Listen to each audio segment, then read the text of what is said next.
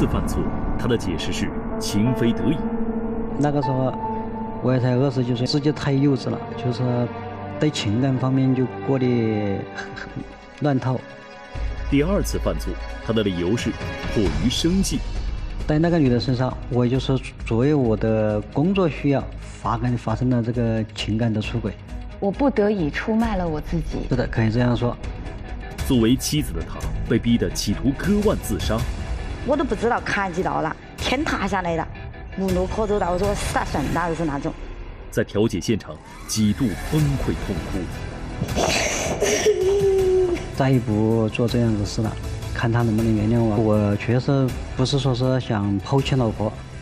他究竟是真心悔过，还是又一次试图狡辩逃脱？面对丈夫一次又一次的背叛，她为何始终不愿选择离婚？你们两个人有一个非常大的前提，无论发生什么事情，李女士坚决不离婚，田先生坚决不离婚，打死也不离。在他们的矛盾背后，究竟还藏有怎样的隐情？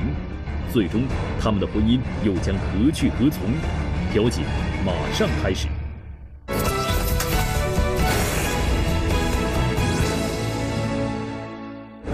有问题来调解，来调解没问题。欢迎收看江西卫视金牌调解。大家好，我是张婷，欢迎本场调解员胡建云，欢迎胡老师，欢迎观察团各位成员，欢迎大家。欢迎双方当事人，一位是李女士，一位是田先生。我们首先了解两位当事人诉求是什么？想请老师帮我指点，我以后到底该怎么做才是对的？你指哪方面？我和我老公之间的问题，大家庭的问题，我觉得我过不去的东西说出来了，大家帮我指点，我应该怎么做吧？你自己心里没有想法吗？比如说，我想要离婚，但是有些事情需要解决，或者说我不想要离婚，所以有些事情需要解决。那你呢？所以，我就是不知道我该怎么做，不知道自己是想离婚还是不想离婚。对，没有一点方向是吗？没有。我老婆。在我们家过的这些年过得很苦很累，就是想让这个老师主持个公道。我也来就是说，在他面前当众承认个错误啊，呃，给他个公道啊，向全国人民保证以后对他好，能好好过日子。零五年开始到现在，在我心里，反正都是还没有过去。我知道，我是知道这次对他的伤害是绝对，他不能翻篇了。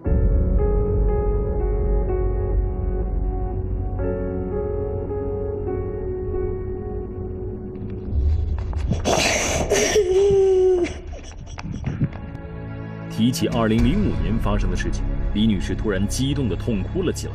究竟发生了什么，以致十五年都无法翻篇？在情绪稍微缓和过后，李女士告诉大家，她和丈夫恋爱三年才领证结婚，她觉得自己找到了真爱。可让她万万没想到的是，婚后没多久，丈夫田先生就出问题了。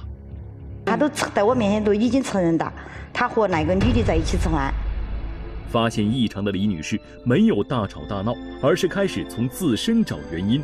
后来我都想到，我说，既然你出现这种问题，也不光是你一个人的问题，也许可能我还是有很大的问题。如果我没得问题，你不会在外面。然而，她的理性和大度换来的却是丈夫的明目张胆变本加厉。为此，她差点丢了性命。过一段时间还是在来往，好，我就又和他争吵。我就在这边在家里和他吵，他在那边还是跟他继续的在跟他他过。后来就有一天，跟他两个实在是吵不下去了。我说我已经原谅你了，我也答应你可以和他之间说清楚，给俺你机会，给俺你时间的。对我来说，我已经觉得做的够可以了。他还是这个样子，我都一气之下了，我就伸手把个菜刀拿来，直接性的都把我这个手砍了。我都想到我好像就是说天塌下来了。无路可走了，我说我死了算那是哪种心态。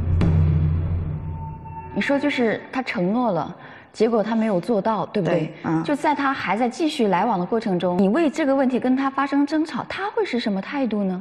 坐在这里呗，你爱怎么搞就怎么搞呗，无动于衷的态度。对，真的是捅我几刀都还要还要种无动于衷会让人看不到希望的。对对对，我都不知道砍几刀了，我砍成那个样的哦，整个身上都是血的嘛。他就跪到我面前说：“哎呀，你我认错，我知道错了，你这一刀子砍呐，把我心砍碎了，把我砍回来了。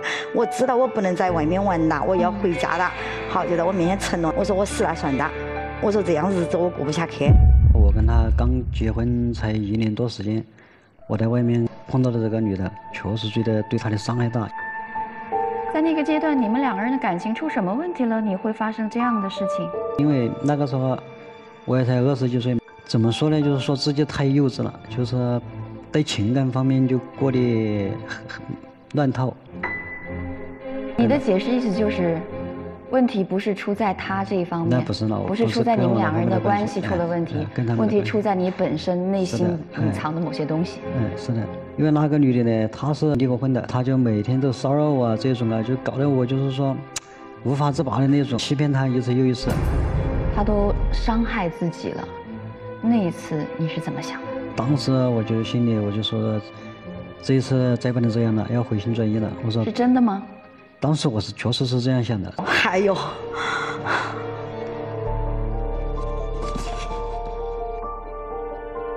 今天的田先生坦诚认错，毫不隐晦。可是十五年前的他却并没有因为妻子割腕自杀而及时收心。当时自杀未遂的李女士心情还是久久不能平复。整天都是那种哭嘛，除他哭就是哭嘛，我走路都已经走不稳了。李女士决定回四川娘家好好养伤，也希望用自己的离开让丈夫悔过自新。当时我走的时候，他都还在说：“那你就回去吧，你回去了，我等我把那点事忙完了，我就来接你。然而两个月过后，李女士却始终没有等到丈夫来接她。当她从娘家回到自己家后，却看到了让她目瞪口呆的一幕。”进家的那个场面，家里面那个女人的衣服，在你家里，对，衣服、化妆品，整个家里布置得很好很好。我当时就把所有只要是屋里的东西全部漏出去，丢到垃圾桶里了。我都知道他在哪里做事，我就给他打电话。他说他在哪里？那个时候我都还没说我回来了，我就走到已经都好像是我们那么面对面的吧。他在你那里，我在这里。我看到他的人了，我在打电话，我就说你在哪里？他说在哪里？我说你到底在哪里？他就感觉哎不对，他就把头那么一侧过来一望，哎看到我人了，给他的感觉就是那种，哎呀我的个天哪，天塌下来了，你怎么办？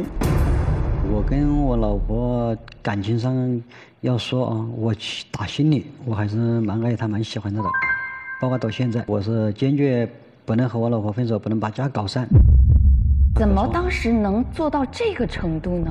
这已经不是你所说的啊，因为别人来骚扰我，我就没有控制住自己，进入到你们家庭生活，堂而皇之的生活，能从哪个角度去解释？这个我确实做的过分。然后他就觉得，哎，怎么天天我老婆没有找我这样的话，他就说，我说我老婆上班上班去，他就老说就带我跑跑到我家里去看，就看到我的没得他的衣服就不在屋里，他问他是不是走了，最后我是确实在没得法的情况下，他就搞到我屋里住去了。你到现在所有的解释都是是因为他的问题都是因为他来骚扰我，都是因为他的行为方式太直接，我没有办法。那不，肯定我最大的问题是在于，要是我当场拒绝的话，你能接受他的这些行为，是因为什么？哎，当时我就不知道我心里是怎么那个的，但是我没有明确的接受，都是我的问题吧，都是我的错。我看到确实没得没得法了，我最后把电话号码换掉了，他找不到我了，这个事情才了结。因为我觉得太伤害他了，对不起他。其实我呢，就是说不是说是有意的伤害他，要是我真正的不爱他，不不想跟他过的话，我就跟他直接把婚离了，就跟那个女的结婚了。但是我两边选选择的时候，但是我没有这样做。那个时候我都已经都蛮冷淡定的，蛮冷静的，那我就坚定了离婚，一个字什么话都不谈，我们两个先把婚离了再说，始终都不离婚，你一个人给离开吧。被重重伤害的李女士，从原来的软弱退让变得冷静清醒。她提出了离婚。这时的田先生终于慌了神，一再认错求原谅，从此跟那个女人也彻底断了联系。一年后，夫妻俩有了一个女儿，日子渐渐恢复平静。她原本打算从心里让丈夫犯过的错误翻篇，然而，在女儿六岁那年，丈夫田先生又出现了新的情况。有一个工人是跟我们一起住，他吃和住都在我们一起，他就看不下去那个过程的，他就跟我闹一句，他说他今天没在工地上，早上把他们安排他做事，他人都过去玩去了，暗示已经提醒我。后来我都觉得不对的，我就上工地去看去，他在外头玩。他这个玩是玩什么？你指的？玩女人呐。因为他自己说的，他说他和他在外面吃饭呐，在公园里逛逛公园啦，在公园里抱到亲啦那些，我都没亲眼目睹看到，都是他给我描述的。我跟他解释过了，我就说这是个超市这个经理，我就是为了讨好这个经理，就是搞点业务啊，好结账啊，就给他发些好听的话、信息啊，就乱七八糟的，就是搞到呢，就是产生了好感，跟那个女的呢也是，就是说。在那个女的身上，我就是作为我的工作需要，作为我的这个业务需要，我就发跟发生了这个情感的出轨。听起来你的解释是，我不得已出卖了我自己。是的，可以这样说，因为当时我确实是这样做的。最后我一发信息被他发觉了，我就最后我就直接跟他说了实话，我说是什么原因呢？说了之后，他又给我吵了，说那就愿意这个钱不赚不挣，叫我不这样搞。我看到又伤害他了，当时我就还是咳嗽的蛮快，我就。我真的不知道，就是这个解释，你心里能过得去吗？我要是过得去，我都不不会在这里来。他说，就是被逼无奈，实实在没有办法。你们信吗？非要这样去生存吗？反正我不能接受。他刚才一直在强调，是他们是他在求他的工作，对不对？嗯。其实不是这样。当时他给我回来解释是，那个女的是商场的什么职位吧？嗯，需要他去给他帮忙搞点什么？不存在他所说的他求他，而是那个女的来求他。对这个女的，我确实不是说是啊，怎么喜欢她呀，又是这就更有问题了。你得问问你自己为什么？我也不知道怎么说，但是我确实不是说是想抛弃老婆，跟那个在一起，确实是为这个业务为做事，跟他两个搞到一块。在他的角度看，他就会觉得你完全没把对我的伤害当回事儿，所以你无所谓，你很随便，你才会这么去做。你看到了他的伤害吗？是我造成的伤害，我也看到了，但是是我没有重视，搞到不可收拾的地步，没有把自己控制好，没有把自己管好。这两件事我记在心里，再也不做这样子事了。看他能不能原谅我，看能不能感化他。担心。今天坐到这里来和你们讲话，明天会发生什么都不知道。那个人都已经发狂了，都觉得我的天哪，你那个事情到底什么时候是个头？你都老是在我面前说我错了，我你给我最后一次机会，我改。我说到底什么时候是最后一回？旧伤未愈，又添新伤，李女士几近抓狂。在毫无办法的情况下，她决定打电话向公公求助。可是公公的态度却让她更加崩溃。我说爹，我说那你要给小田打个电话的，不能在外面这样玩的，这样下去会把家搞散。当时都一句话拒绝的，我不管你们的，你们不管我的。哎呀，你是媳妇儿嘛，嗯，你肯定该承受吧。如果我的姑娘是受到这种打击的话，我肯定第一时间要站出来说话吧。公公的无情拒绝、袖手旁观，让李女士很伤心。然而，这通电话过去后没多久，婆婆在老家摔跤受伤了。公公的第一个电话竟然打给了李女士，没给儿子打电话，没给姑娘打电话，第一个电话打给媳妇儿了，说妈在家打的，呃，在家里面我走不开，需要我们回去照顾婆子妈，我能怎么样？服输呗。为什么呢？不知道，因为那个时候我只在想，你这个时候家里面居然给我打了个电话求助的。我是肯定是要付出的。等我们赶到的时候，他都躺在床上了。我一看，又没打个吊针，又没拿个止疼药，我就看我妈都疼到那个感觉哟，我真的心里好痛。那不是人能受得了的。我都跟他商量，我都说我们把妈接到宜昌，因为宜昌比县医院的医院肯定是好一些。我在医院里住二十三天院，我就陪同他在医院里住二十三天。他入院我入院，他出院我出院。回来的情况下又是几个月，一直都等他，等他好。他好到自己能在家里面自己能做饭吃了。好，我呢又是个玩不住的人，我就在我们那个屋旁边那种红火砖。哎，这个砖我说我搬回去有用。一个三天之后我都拖砖回来，就我把那个脚砸了。那个药呢，就是我的姑，我老公的妹妹从他们那来上，就是叫什么呢？活络花油。嗯。那一瓶药九十几块钱。我说你不是有那个药药吗？你把那个药拿来，我擦点。好，我也都蛮直白，因为我这个人蛮大意哦。他都舍不得的，看到他都舍不得这个样子。我就这个气都已经都忍不下去了。我说你住院我花一万多块钱，我又在医院里照顾你，回来那么久，他点药都没舍得。对，心里都好像好委屈啊。我付出的太多，因为我在用我的生命，用我的所有能付出的东西在付出。到底是我哪里对不起你们了？我哪里做的？你们要这样来对待我？无条件的对公婆付出，依旧不被尊重和感恩；对丈夫隐忍原谅，也换不来丈夫的悔过和珍惜。李女士的内心犹如刀割一般，她不知道自己究竟做错了什么，要被这般对待。究竟是什么让李女士如此缺乏底气？在这段婚姻中，她受尽了委屈，为何始终没有抽身离开？主持人张婷提出了一个疑问，却让李女士瞬间伏案痛哭。认识他的时候，你自己经历过了什么？很糟糕的日子，不想提的日子，有不愉快的经历。是的，他是失失败过一次婚姻的，因为他在乎婚姻。你知道他前一段婚姻的糟糕是糟糕在什么方面？他的家人家暴他呀，对他不好啊。他跟我说的就是说，他的婆子妈对他不好，经常挑起她老公打她。她老公也就是说跟她婆子妈一条心，就是把她逼得走投无路了。她十七岁就被她的妈把她许给别人了，她就是家庭蛮困难的那种。十七岁就嫁人了？对，她就家庭的子女多，那个时候家庭困难无法养了，就把她嫁给别人了。没人疼，没人爱，甚至没人管。是的，实际上她的生活从小就过得蛮压抑，经常挨打挨骂，就是无缘无故的那种。为什么他到我们家庭就不能受委屈呢？他就是说他是经过了这一次的，在我们家一受到委屈，他就想以前的心理压力，触痛了更深的那个伤。这样。你当时跟他认识的时候，了解这些，你那个时候是什么想法？我知道以后就是说我就是想救他呗。他没离婚，那个时候跟我的时候没离婚，我就是说那你在家里过不下去，那你就跟着我过。他遇到你的时候。为什么他会选择你？你自己认为？我估计是看到的，就是我对他好啊，哎，对他有安全感才跟我的。就是从那里开始，就是他就是死心塌地就跟着我了。我跟他两个结婚的时候，我是确实是因为不懂，因为第第一次出轨嘛，我就是说我是不明不白的那种。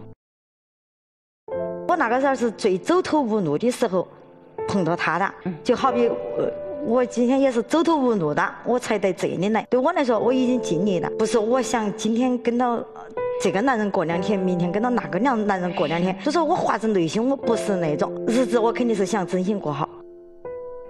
原生家庭的苦难，前一段婚姻的不幸，让李女士把田先生当作救命稻草一般。可是她却怎么也没想到，婚后的田先生会一再辜负，把她伤得体无完肤。那么这一次，始终把认错道歉挂在嘴边的田先生，是否真的可信呢？对这段婚姻，李女士究竟又该去还是留？田先生，嗯，你把第一次的背叛说成了是这个女性她在不断的骚扰你，我解读到的是你的半推半就。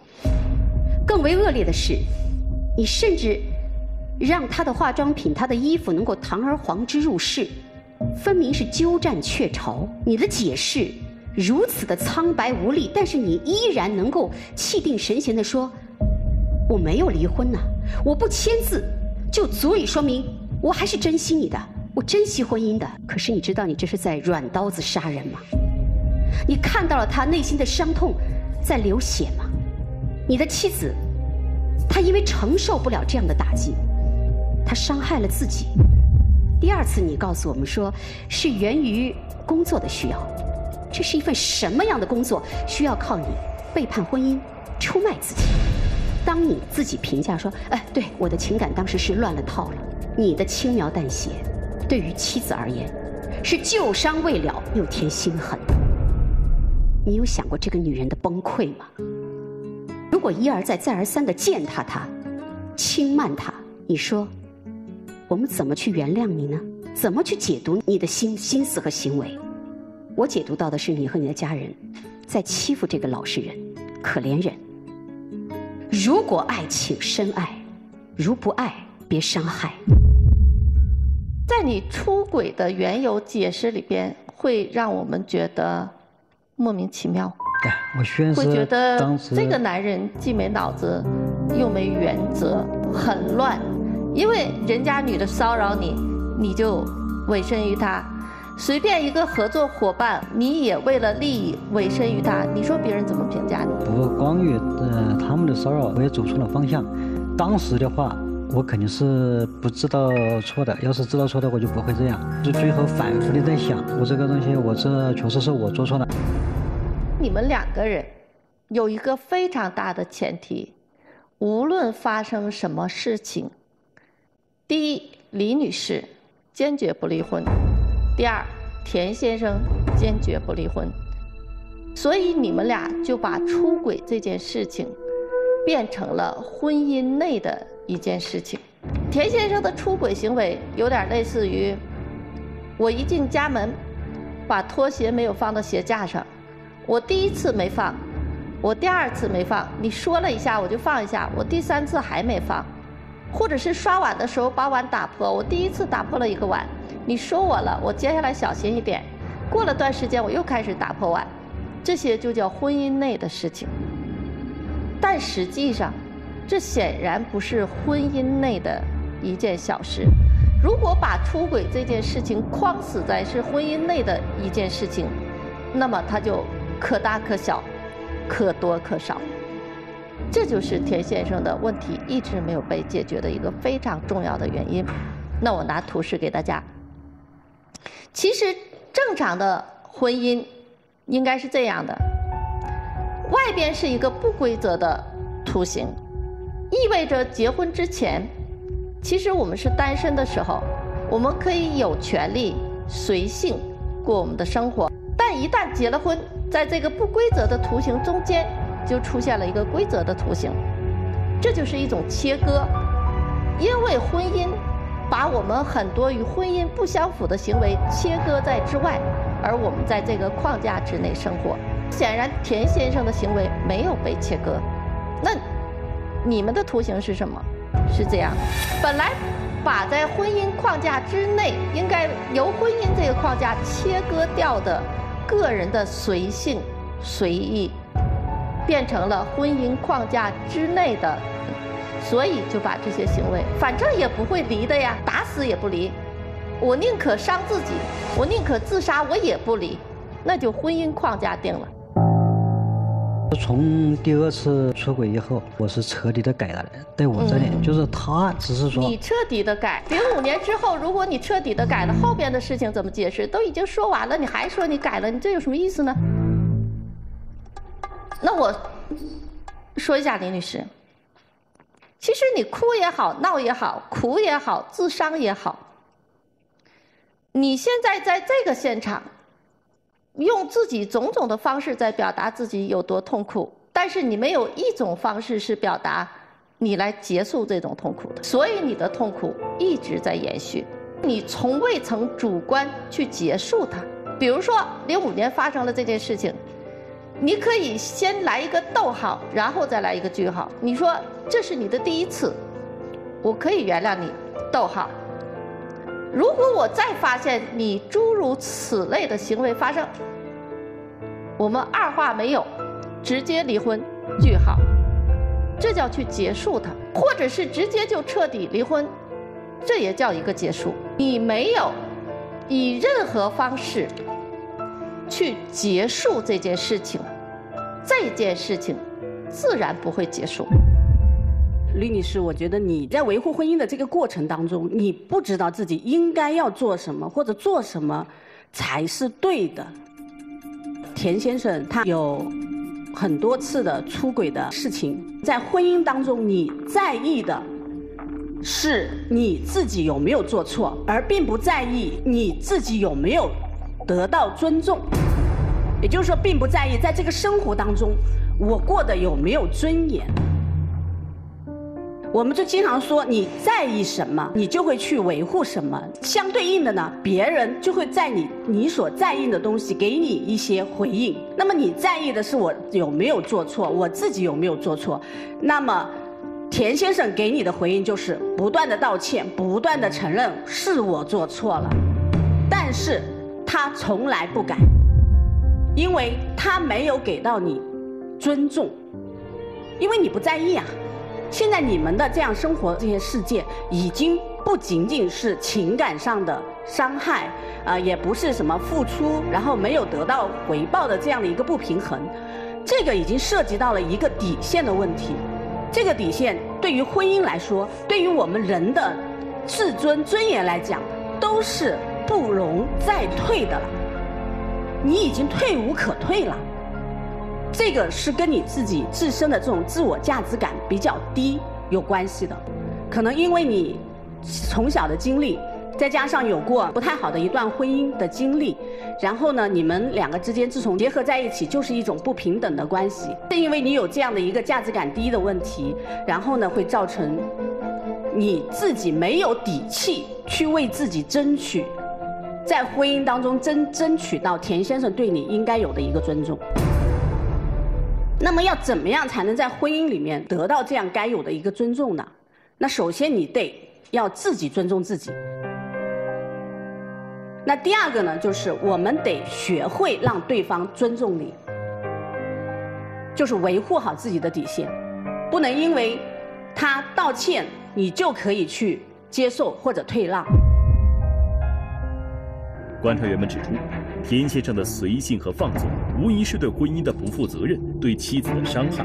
而妻子李女士要想真正维护好婚姻，就要设立起底线，而不是委身乞求。随即，调解员胡建云决定再给李女士打一剂强心针。一个人呢，你总是看人家怎么对自己，那很容易崩溃的。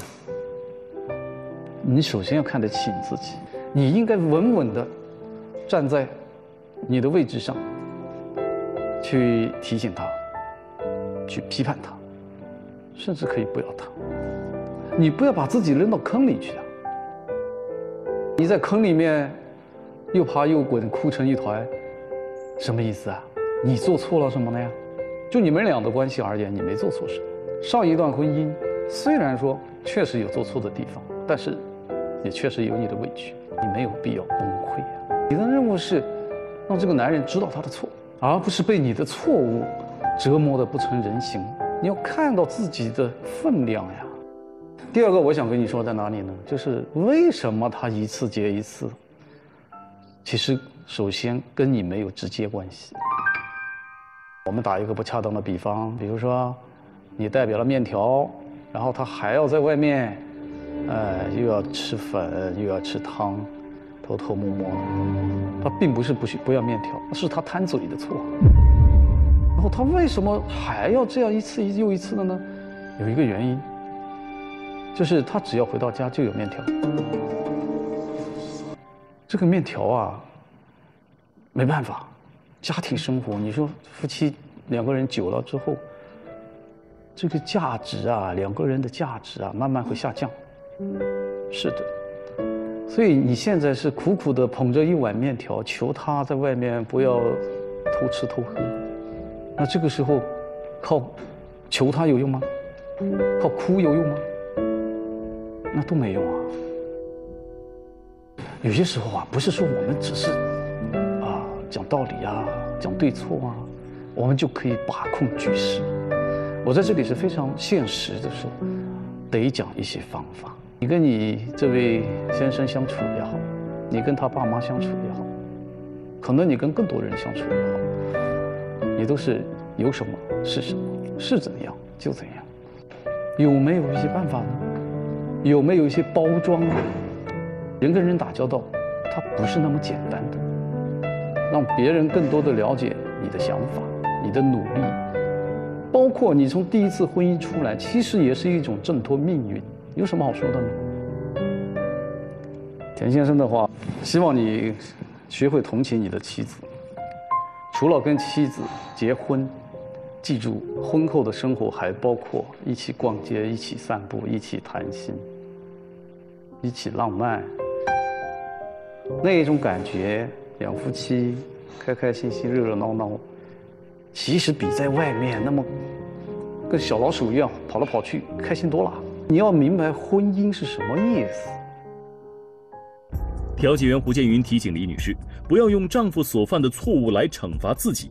不要用他人的认可来找价值感，而是要学会自信自爱。然而，进入密室之后，李女士还是控制不住情绪，再次大哭了起来。我真的确实受不了那种生活的。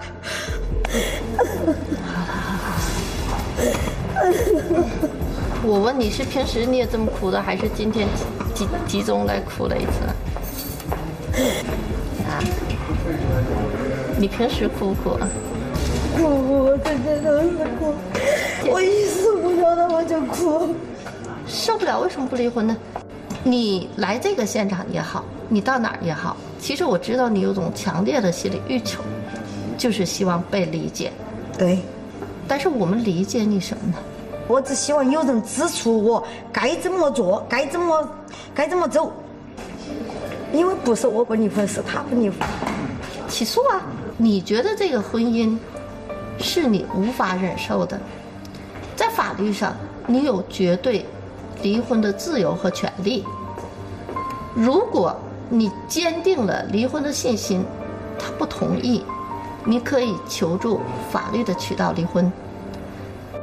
心理老师李金平认为，既然李女士无法忍受曾经的背叛和随时可能再被背叛的恐惧，可以选择结束婚姻。面对李金平的提议，李女士沉默了。显然，对于离婚，李女士还是充满犹豫。此时，场上田先生也还在解释，为自己争取机会。我真正出轨就两次，就是两次，误会有三次。他就是在屋里老大不开交，我就说那你说完了就完了。不管你几次，你只要是出轨了，对感情不忠，就对他造成的伤害还是蛮严重的，对吧？你看他割腕呐，杀害伤害自己呀，一定要把控自己。抵。抵得住诱惑，好吧？不管什么原因，你一定不能去对婚姻不忠。因为我女孩这么大了，我现在看到，我现在已经不是现在，我前四五年我就认识了这个问题了。田先生信誓旦旦表示，自己其实早就改了，妻子后来的不安和怀疑都是误会。观察员廖启玉建议田先生要向妻子做出承诺和保证。假如说，哎，我还会去出轨或者对婚姻不忠，你可以。做出选择，是吧？我净身出户嘛。我也说过了，我净身出户，还倒隔一百隔一百万他，我都协议书都写了，我们到法庭上去了，去了他们签，我们只是字没签。嗯嗯。他还是不想离婚的。田先生表示，他曾经想过以离婚放弃所有财产来补偿妻子，可是妻子并不想离婚。此时，密室里李女士也终于说出了自己真实的想法。我已经上一次婚姻背叛的，是我背叛的。虽然是我过不下去了，所以说我对婚姻是致命的东西。你现在的想法是离婚？我现在的想法就是，希望他不要这样，再不要这样的。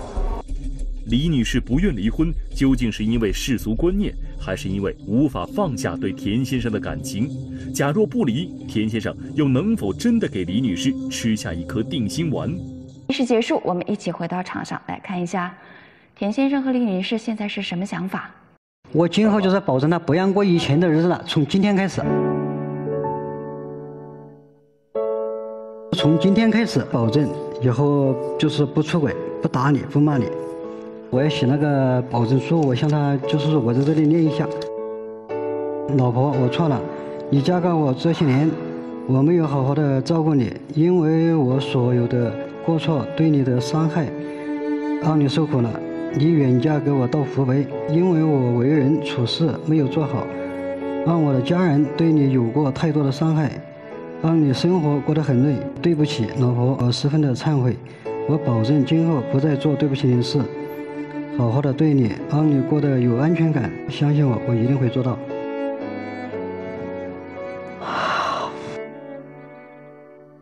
希望他说的每句话都要做到。不能像以前在我面前写的那，我刚才看到他的保证书，我都想起以前的保证书。以前我是写过的，这一次我一定，我知道错了。这次我能来，光明正大的来，我都不都不是说着玩的，嗯，不是在家里这样子说了说的。你今天是站在公众场合，是的，做了保证了。如果这样都不行的话，那你就真的是个坏人了啊！那肯定的，今天今天不光是这些人看，这我知道。啊，送过来了，是吧？老婆，对不起，你跟我结婚都没送过花，这是第一次送花给你，原谅我，好吧？我们好好的过日子。他心里面很多苦难，需要你的呵护，真心去关怀他，啊，这样子，这只有靠你。这这个我一定一定做到。那今天我们就先到这里，我们就看行动了，好不好？辛苦你们了，谢谢你们各位老师了。保证书是对将来的承诺。